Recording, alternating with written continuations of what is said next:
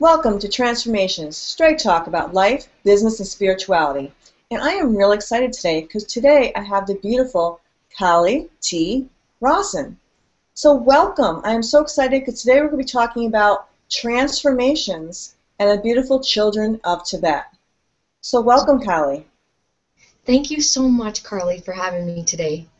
Um, I'm really excited about this cause, and um, I'm really honored that you asked me to be on your show. So I'm going to defer it to you for right now because I'd love for you to tell me how you actually got involved in the Children of Tibet cause. You know, it's a really magical story. Um, first, it's not a long story, but I'll make a long story short, so to speak. Um, Facebook has been an amazing connection, meeting people from all over the world. So I met a director on Facebook, and he and I collaborated on a film about peace. And it doesn't seem like it's a, a film about peace, but when you watch it throughout, it's on YouTube. It's called The Locker's Heart. Um, what we did is my husband and I went to Tunisia right after the revolution to shoot this film. And when we got back, I had a gentleman named Stephen Chitry from Scotland, who's a PR person for um, the Dalai Lama and the Tibetan um, people. And he asked me if I would do a promotional piece because I had been doing some um, little promotional pieces for friends that are artists and musicians. And he asked me to do a promotional piece for Tibetan children. And I said, absolutely, I'll do it. And then a few months later, after we had gotten to know each other, we had Skyped a few times, he, um, he asked me if I would like to be a children's ambassador for Tibet. And I said yes right away. Um, I got a little nervous. I was thinking, oh, I pray to God I can be a good role model and, um, and do what I can do for these children. And um, then I asked him, I said, why did you ask me to be a children's ambassador? And he said it was because I went to Tunisia. And um, at the time when I went to Tunisia, so many people were like, "Oh my gosh, it's dangerous." You know, there. I mean, you're you could be in danger. But I don't know, something inside me just told me I would be okay. And it was really important for me to do this film. And I wanted to go to a place, especially um, the place where we shot it in Gafsa, Tunisia, is where the revolution started. It was when there was a, a man with a cart outside. He was trying to sell items to feed his family, and the police came up to him and took away his cart because he didn't have a permit that day. He couldn't afford the permit. So he he put himself on fire. And it's called immolation or immol do you know what it's called? Um, or immolution? It's when you uh, put yourself on fire. Oh, yeah, when they actually pour gasoline on themselves and they blow themselves up. Is that what you're Yeah. talking about? Yeah. I don't know the exact term either, except I know what you're. I, I know what you're talking about. I, I don't know the term either though. I don't know how to pronounce it, but it's immolution or something like that. Well, that is what's happening with the Tibetan, a lot of Tibetans, because they want to go back to their country. They're setting themselves on fire. So we want to get the message out there that there's a lot of children that are orphaned because their parents are not around anymore. And I don't want to say how they died. They they died somehow. And um, so we're putting on a benefit on November 16th here in Los Angeles called the Circle of Faith concert. And the um, executive director of Circle of Charities, I was introduced to Maiko Maya of circleofcharities.org through Howie Wallfish. I was putting out, please, like, please help me um, put together this project. And um, so she has been an amazing woman. She has the venue. Um, she has the musical director. She's putting children together to sing. And I love how she put the project together because what she did was she was like, you know, let's have the children of Los Angeles save the children of Tibet. Because, you know, here in Los Angeles, we have so much. You know, sometimes, you know, we don't have, you know, we don't drive Bentleys, but you know what? We have a lot. And I hope you can delete some of that. No. no, you know what I want you to share? I want you to share a little bit about the experience of the audition. When you were sharing with me about the old man, I mean, not old man, you know what I'm saying, the older gentleman auditioning, and he's actually going to be singing. You have to share some of the stories of the audition because that just really touched my heart. I think that was so amazing. Well, I, I took some video footage. Um, there were some auditions for the Circle of Faith concert, and we wanted to be about uh, children of all ages. You know, not just young children, but older children. So a gentleman came in. I don't know how old he was, but he was between 60 and 70 years old, and he auditioned. And he is a brilliant musician. So he'll be there. Um, we have about 20 performers, young, old, and I don't want to say old because they're children of all ages. And um, young at heart. How about that? Yeah, young at heart. So we just have so much here in the United States, and we just want to give back. So Maiko has a children's charity called Circle of Arts as well, and she provides art supplies, and she has a um, music studio, and she teaches children how to produce music and give back, and it's just a beautiful thing. Mm-hmm. I really wanted to get that in there because I think that's so beautiful. I think we forget sometimes. Doesn't matter how old we are. Like you know, as you, we were talking about, my birthday's tomorrow. Doesn't matter if you're 49, if you're 50, if you're 70, if you're 20, if you're five. It's yeah. just like being playing. Playing is such an important thing, and you, being in that spirit of play and in your heart. So I really wanted to get that in about the older gentleman singing because I think that's so beautiful that you're allowing him to sing and with a group of younger people, and and that and that you also have a diversified, you know, singing group that is not just children singing. And I think that's just so beautiful. So I really wanted to make sure we got that in there because I was really touched when you told me that the other day. Um, it's really going to be soulful, and there's going to be a song that um, Maiko has written that we'll all sing at the very end, and it's it's I'm really excited. Let's talk about you were talking about earlier when when I was talking about transformations and you were saying that that has brought you to where you are today. So let's talk about a little bit about you, Cali, and how you yourself has used transformation in your life.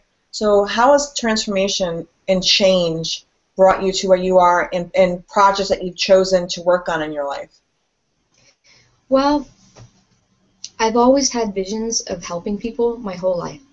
And this is where it started. I, I remember that commercial, and I'll talk about how it transformed me in just a second. Before I started taking transformational classes, um, I had there was a commercial when I was a young child. Remember that Indian rowing down the river and seeing all this garbage, and he had a tear in his eye, and that really impacted me. And I started recycling at the time, right after I saw that commercial. And then when I was in fifth grade, I remember someone bringing groceries to our doorstep with no note. And I thought to myself, you know, I really want to be the kind of person that does something for for people in the world like that. And so those two instances in my childhood, those were little seeds. So when I was about 25 years old, I started doing transformational work. My very first course was through Landmark Education. And it really impacted me. I, I'm a dental hygienist too. So the dentist that I was working for, Shelley Canada, invited me to her um, course to find out what it was so I'm sitting in her course called Self Expression and Leadership. And I see all these people in the course um, describing the projects that they're doing in the world. Like one woman was um, feeding the Houston um, homeless children, and she had a We Care project. And then another woman stood up and shared that she was building 15 homes for underprivileged people, and she got the land donated and the supplies donated, and I'm sitting in the chair just thinking, wow, I really want to be that kind of person. So, um, so I took the courses, and um, I did my very first charity event in Dallas, Texas, and it was called Passion and Partnership Events, and I really got a sense of like people coming together because people just want to give, and and if they're not giving, they want to know of a way they can give, and if they're and sometimes people don't even know that their gifts matter. so that's what transformation is all about. When I took these transformational classes, I really got that I was a gift in the world, and I wanted to share that. And so I would not be here today without the work that I've done through Landmark Education, WorldWorks trainings, um, Kaya Redford's NLP um, success coaching. Um, I just continue to do transformational work because it keeps bringing me to a whole new level.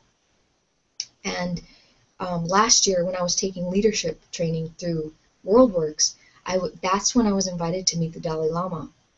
Um, it w- I'll never remember. I mean, I'll never forget that day. Um, it was Earth Day, and I didn't even know it was Earth Day until I arrived to the hotel, and there were people everywhere, just in reverence to this man who epitomizes peace in the world. You know, he's gone through so much trauma. And you know i feel like he is a, a role model for me because you know i've been through a lot of trauma myself. And i think everyone has their story of trauma. You know some are more extreme than the others but we all have had some sort of trauma in our life and we can transform that trauma and give back maybe even to the people that we associate with that have had the same type of trauma and it's just a beautiful thing to transform. And um, what kind of transformational work have you done? Oh my God. Um, I, I've worked with all sorts of transformational leaders. I've worked with uh, Christopher Howard, T. Harv Eker. I've done a lot of Mark Victor Hansen's work. Um, I mean, I've just so so many different things. I've done stuff with um, Doreen Virtue, um, Barbara DeAngelis. I've done a lot of different things. Mm-hmm. I've been doing so. I mean, literally I've dived into a lot of it since 19, I don't know, the 1990s. But what I want to touch back on it before I get into anything I've done, because this is really about you and um, a lot of things that you've worked on. Um, one of the things I love about the Dalai Lama is his sense of humor. I mean, mm-hmm. he, I love his laughter and that he's willing to laugh not just at himself but at the you know the world and just you know anything. I mean, I, I love his sense of humor. It's just beautiful. I, I, you know, I knew I you must have seen that. His sense of humor and his his laughter is just is just beyond amazing. And there's one more thing I want to touch upon before I forget. Um, is you, the giving part. A lot of people have this view: is if we give, we're going to get taken advantage of. What do you think about that statement? Well, I feel like if you're thinking you're going to be taken advantage of, it's because you want something. So when you give, you really, for me, I've learned that when I'm giving, and I'm just giving, but I'm a human. Sometimes I expect back, and that's when I get an upset. So if we have expectations and they're not fulfilled, then we have an upset. But giving, you know, you you get what you give, and I just have found that in life, giving, like forgiving, forgiving is a gift that you truly give yourself. So anybody that's ever taken advantage of you or me or you just forgive them because whatever journey that they're on and they had to take advantage of, they were in survival mode and they felt like they needed to needed to have that. So I feel like the world is just flowing and we just because I I mean I've had many instances where I've been so-called taken advantage of, but I feel like it's part of life and I've let it go. And what's so cool about upsets, I was talking to someone the other day about upsets. Whenever I get upset, I look at my watch and I give myself a certain amount of time. And I learned this through the Sedona method. You just give yourself specific time because you got to let it out. You know, we're we're emotional beings. You know, when something happens to us, we've got to let it out. And through transformational work, I've learned to do it in a very graceful manner because I used to be a wreck. Like when I would get upset, I would just have verbal diarrhea, you know? So through transformation, I've learned to, you know, not react so quickly. And it's helped me so much and I feel like that's why I'm where I am today too. Maybe it's taken me a little longer than most people to, you know, be wherever I am, but I feel like I'm in the perfect place and whatever I'm giving and receiving is perfect. So you said something that's really important right there. I think as human beings, we need to learn to respond versus react. Yeah. We, and too many times when we're in a situation, we immediately react. We don't literally take the time to step back and just be with something and feel it and then respond. So I, I like that, and I think we also need to honor how we feel. So, like you said, having that, it's almost like having a timeout.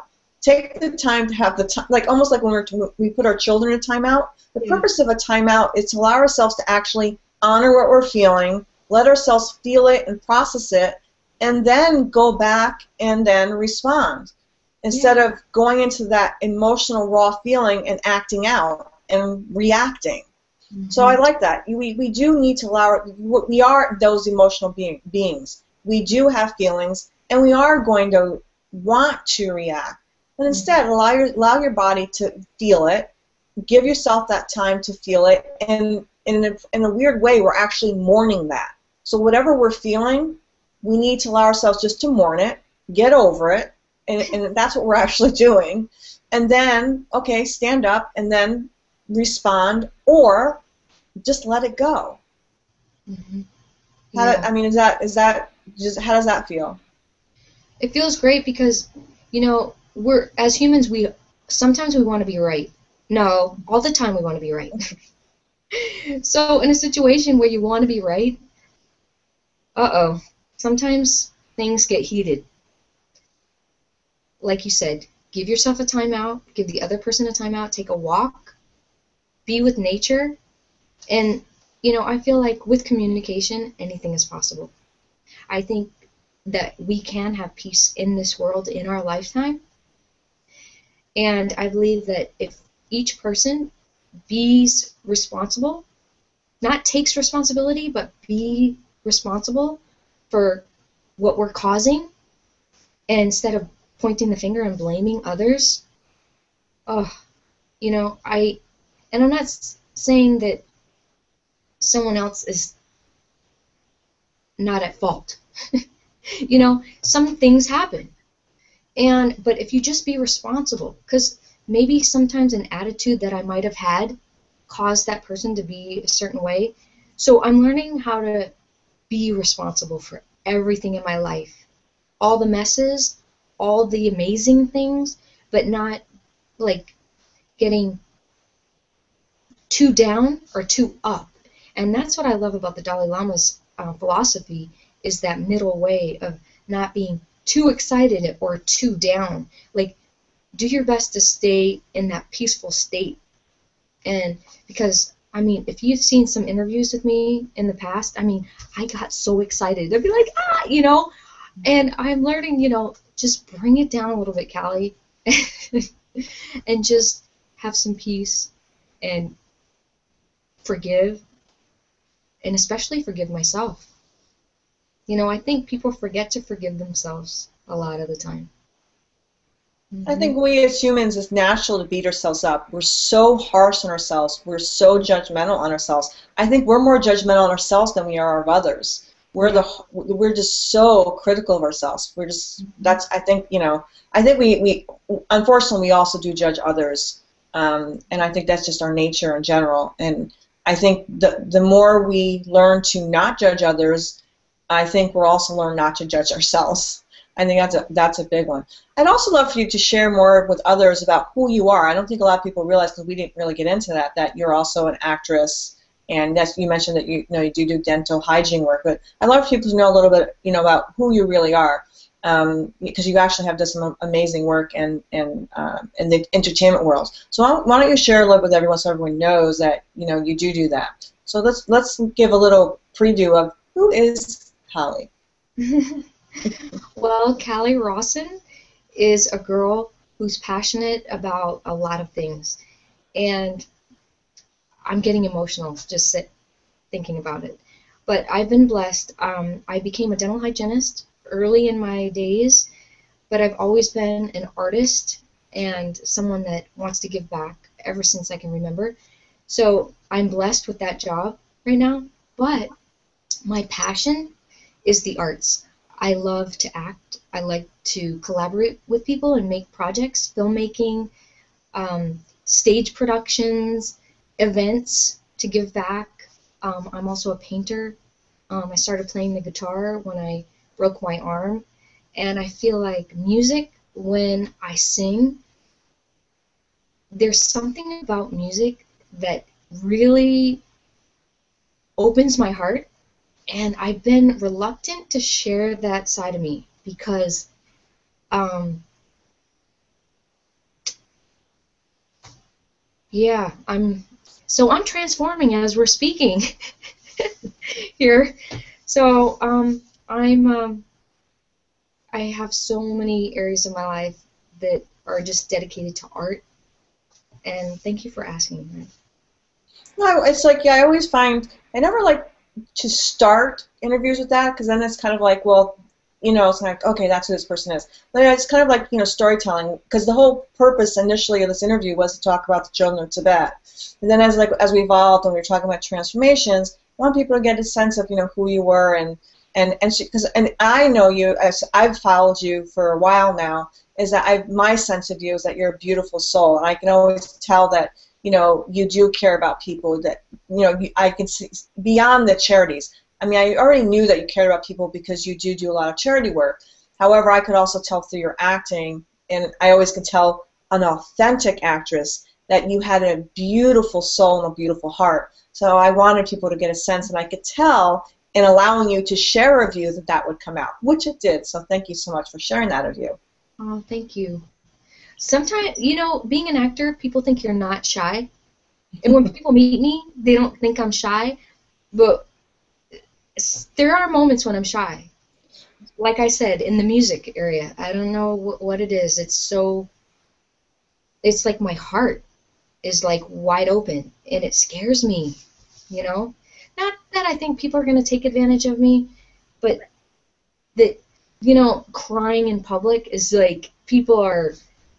I don't know. We're taught not to cry. You know, I don't know what that is. Um, but when I feel, it's not that I'm sad when I cry. Sometimes I'm so filled with joy and so filled with love that I just start crying. And it's not that I'm sad. It's that I'm filled with um, emotion. Yeah, I'm I'm overwhelmed with the difference that I can possibly make, the visions that um, I've been given. Like save the children of Tibet I would like to save the children of the world. And I'm not even just talking about children, I'm talking about people, because people forget we're all children. And that brings me up. I, I really would like to thank a few people that have really helped me with the Save the Children of Tibet project. One, for one, Stephen Shetred from Scotland, who actually invited me to do this project. I mean, without him asking me to do this, this wouldn't be we wouldn't be discussing and then San Bowie, who's in Canada, who's been a really inspirational support for me, you know, helping me go along and supporting me and through all the rejections that I've had up until this point to get this project done, and um, and Lama Kinsor, who is from Canada, but he has um, a um, monastery here in Westminster. His name is Lama Kinsor Lobsang, and um, He's the one that's building the orphanage in India. He's in charge of it. It's called the Saramay Pab Hor Kamsen project. And then I met some amazing women over the last month, Angela Bowie and Cherise Ford, who have, are of um, this project called Trophy Models. And you, it's not considered like when you hear trophy model, you get this image in your head, but it's really about model citizens. So everybody is a trophy model and when I got that, it, that was like so cool, you know, trophy models. And then um, Dina Kimmel, she owns We Rock the Spectrum, and she's donating a gift basket. She has um, gyms all over, all over here. Ten franchises of um, gyms for all children, especially autistic children. Mm-hmm. And um,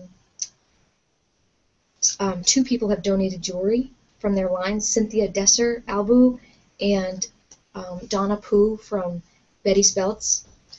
And her website is madewithintegrity.com. And um, just an outpour of love and support, and especially of women. And I wanted to discuss that. You know, you know how some women think women are catty or women aren't supportive. But I really want people to get out there that women are among the most supportive people on the planet. And they just want to give back. Women and women coming together has been a blessing, a miracle in this project, really. So Well, I want, I I want think to on that thinking. uh, what I want to say to that though is I think as a culture, women can get very tribal. hmm Women will come together and band, and, and that's I think a, a tribal culture, and especially overseas, by the way, because that is a tribal culture. You know, they, they live together. You know, the moms, grandmothers, aunts, aunties. You know, that type of. It is a very tribal culture. I think women associations you'll find a lot more here in the United States now. You see a lot of women organizations coming together, women's groups coming together, business groups. You know, that type of thing. So you'll see that more and more in the United States starting to form. Yeah, I, I want to transform that conversation. You know, women help women everywhere. And um, I feel like because women give birth, and um, I feel like, I mean, men are powerful too. I'm not saying that they're not, but there's something about us women that we need to rise up and be responsible for what is happening in this planet. And we need to protect our planet. And that's why my website and I'm starting to brand myself as the POW girl because POW means protect our world. Like we need to really protect our world starting in your home. You know, protect your world in your home and then protect the world in this in your town and then in the city and then in the state and then in the world and then I, it just goes on and on like that. So um, I want to create POW people. POW tribe. Yeah, POW tribe. There you go. And And you it- know, the, the POW actually is a word that gets used a lot in tribal in tribal language. Yeah, language. wow. Yep. So, do you know um, more about anything about powwow? Have you been to a powwow? Actually, eons ago, yes. I have not, and I would love to go to one. Love it. I would love it. Yeah. hmm So, I, I'm really, I, I'm really excited about this work that you're doing, and I'm just really delighted that we finally got to have this conversation. And thank you for your patience and rescheduling. And um, I'm just really, just really happy that we finally got to have this conversation. You are a blessing in this world, and I'm really excited that you're building this tribe of, of POW women. And I'm really excited that there's a tribe being created of how women everywhere. And I know that this uh, this thing will be a success. And I'm really excited that we're putting out the word of the Circle of Charities and the Circle of Faith concert. I know will be a success. And now, now that I know that you're involved, and um, I'm sure it'll be a major success. And we will, you know, sharing it everywhere. So that'll be wonderful. And um, yeah, I'm really looking forward to putting this together for you and sharing it everywhere. Thank you. And I wanted to shout out to Reverend Pickens of the Zion Church that we're having it at. He donated the space for this event, and without him, we would not be having this event. Um, Is there anything else that you would love to share with the audience? hmm. Go within or go without. Ooh, yes, I love that phrase, and I love it on your picture that I actually put in the graphic. That's beautiful. It's a beautiful phrase. I love it. So everybody usually knows, I put together a wonderful page that'll have everything on it. Also, by the way, since this is also a podcast, can you actually share with everybody in spelling out the website where they can go? Yes, Save Children Tibet. S A V E C H I L D R E N T I B E T. That's SaveChildrenTibet.com. Thank you so much. And thank you all for listening or watching wherever you are. Thank you so much, and um, I'm looking forward to peace in this world in our lifetime. I know it's I know it's possible. And I look forward to everyone's feedback, and it's good night for today. However, I will be with you next week. Thank you, everybody, for sharing time with us. Blessings to everybody, and I look forward to being with you guys again. Thank you, everybody.